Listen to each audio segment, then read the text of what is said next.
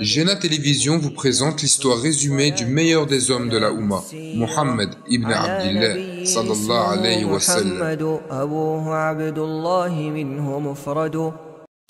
Puis l'auteur nous dit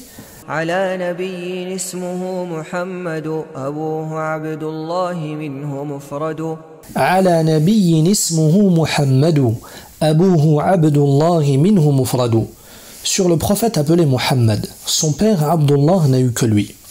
Que signifie ce vers? Parmi les leçons, parmi les leçons à retenir de la Sira, le nom du prophète qui nous a été envoyé. Le nom du prophète qui nous a été envoyé est Mohammed. L'auteur nous dit sur le prophète appelé Mohammed. Mohammed est son nom le plus noble. C'est avec celui-ci qu'il fut cité et désigné dans quatre endroits du Coran.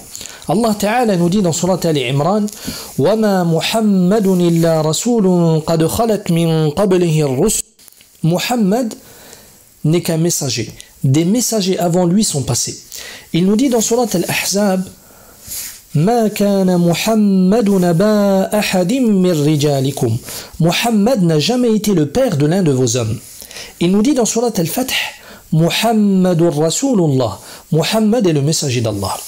Et il nous dit dans Surat Muhammad والذين آمنوا وعملوا الصالحات وآمنوا بما نزل على محمد وهو الحق من ربهم Et ceux qui ont cru et accompli de bonnes œuvres et ont cru en ce qui a été descendu sur Muhammad. Allah subhanahu wa ta'ala a désigné le prophète alayhi salatu wassalam par un autre nom que Muhammad dans le Saint-Coran.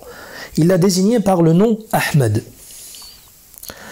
Comme il est cité dans Surat As-Saf, lorsque Isa alayhi salam dit aux enfants d'Israël وَمُبَشِّرًا بِرَسُولٍ يَأْتِي مِن بَعْدِ اسْمُهُ Ahmed et annonciateur d'un messager à venir après moi, dont le nom sera Ahmed. Dans le Coran, il n'est pas cité son ascendance, le nom de son père, le nom de son grand-père, etc. Et on ne trouvera pas ceci cité dans le Coran pour deux raisons. La première, pour couper à la racine le fait de s'enorgueillir des qualités familiales. Son ascendance n'a pas été cité afin que personne ne puisse prétendre qu'il a eu la prophétie grâce à ses ascendants, grâce à la gloire, grâce à la gloire familiale ou à la gloire de ses ascendants. Quant à la deuxième raison, c'est pour mettre la lumière sur l'exclusivité de ce prénom au prophète Muhammad sallallahu alayhi wa. Car lorsqu'on entend Muhammad, ce qui nous vient à l'esprit, c'est le messager d'Allah. Le messager d'Allah, Muhammad alayhi. Et beaucoup de personnes en son temps s'appelaient Mohammed. Car lorsque les gens du livre ont propagé chez les Arabes que c'était le temps de l'arrivée d'un prophète, alors beaucoup d'Arabes voulurent appeler leurs enfants Et Allah subhanahu wa ta'ala a voulu que la révélation serait faite à Mohammed, le fils de Abdullah, le fils de Abdul Muttalib. Muhammad ibn Abdullah ibn Abdul Muttalib. Et une remarque très importante à faire maintenant, c'est ce qu'on appelle le minimum obligatoire quant à la croyance au prophète Pour que ta croyance soit valide concernant la croyance au messager d'Allah il te faut réunir quatre fondements. Et ça c'est très important et très crucial.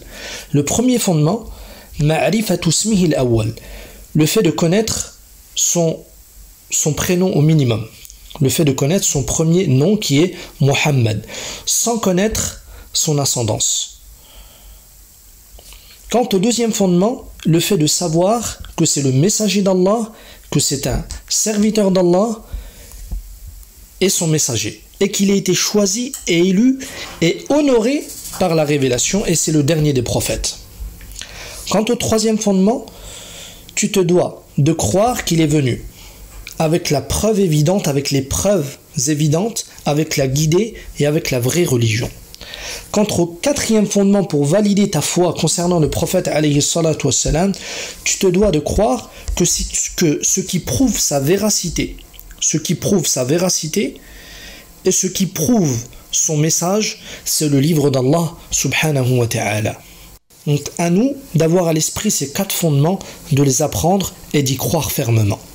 Puis l'auteur termine en disant Abu Abdullah mufradu. Son père Abdullah, son père est Abdullah, il n'a eu que lui. Donc le nom de son père c'est Abdullah. Le prophète alayhi était fils unique.